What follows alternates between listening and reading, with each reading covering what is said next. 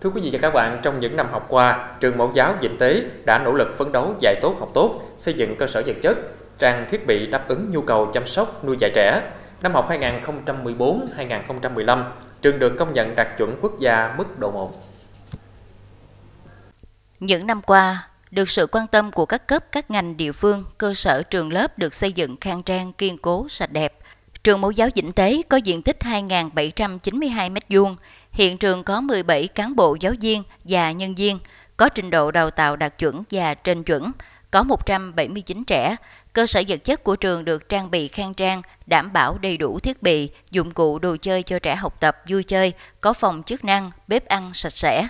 Bên cạnh đó, nhà trường làm tốt công tác xã hội hóa giáo dục, mua sắm đồ chơi, trang thiết bị và các công trình phụ trợ. Các cháu được vui chơi học tập trong môi trường đầy đủ khang trang. Trường cũng chú trọng quan tâm xây dựng các phòng chức năng, hệ thống phòng học trang bị đầy đủ quạt mát, ánh sáng, công trình vệ sinh nước sạch theo quy định. Cảnh quan khuôn viên trường xanh sạch đẹp đảm bảo an toàn cho trẻ học và chơi.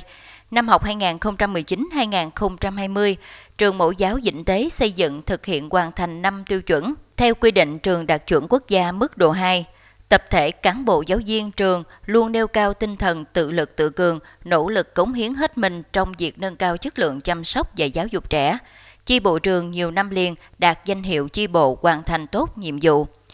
dưới sự chỉ đạo trực tiếp của Phòng Giáo dục và Đào tạo thành phố Châu Đốc, bằng sự nỗ lực phấn đấu của tập thể đội ngũ cán bộ giáo viên và nhân viên, đội ngũ giáo viên trường luôn năng động, nhiệt tình, có tay nghề vững vàng, tận tụy với nghề, hết lòng chăm sóc và nuôi dạy trẻ, luôn có ý thức giữ gìn và phát huy truyền thống thi đua dạy tốt. Chất lượng chăm sóc trẻ các năm đều tăng rõ rệt, như tổ chức các bữa ăn đúng giờ, đầy đủ chất, cải thiện tình trạng suy dinh dưỡng cho trẻ, 100% trẻ được cân đo, theo dõi sức khỏe bằng biểu đồ 2 lần trên một năm. 100% trẻ 5 tuổi hoàn thành chương trình giáo dục mầm non, 100% trẻ ở các độ tuổi khác được học 2 buổi trên ngày. Tỷ lệ trẻ hoàn thành chương trình đạt 98,31%. Hàng năm, trường có trẻ học hòa nhập được đánh giá có sự tiến bộ hơn 88%.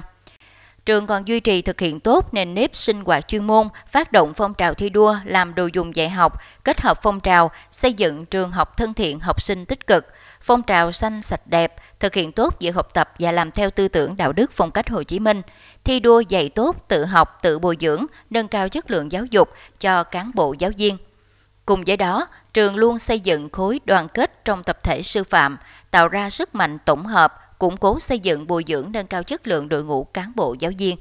Giáo viên thường xuyên đổi mới phương pháp dạy cho trẻ như dạy trẻ bằng các hình ảnh trực quan, ứng dụng công nghệ thông tin trong giảng dạy. Học sinh được xem TV, dạy trên máy tính. Việc học theo chuyên đề nhóm sinh hoạt gốc luôn được các giáo viên áp dụng dạy cho trẻ. Cái chuyên đề giáo dục lấy trẻ làm trung tâm như là xây dựng môi trường lớp học theo hướng mở, phát huy tính tích cực ở trẻ và các hoạt động, luôn tạo cơ hội và điều kiện cho trẻ tự trải nghiệm phù hợp với nhu cầu và khả năng của trẻ. Bên cạnh đó thì tôi cũng phối hợp với phụ huynh mang vật liệu phế thải vào để làm đồ dùng đồ chơi phục vụ cho trẻ. Và bản thân thì cũng luôn tăng cường giáo dục kỹ năng sống cho trẻ, ứng dụng công nghệ thông tin vào trong giảng dạy.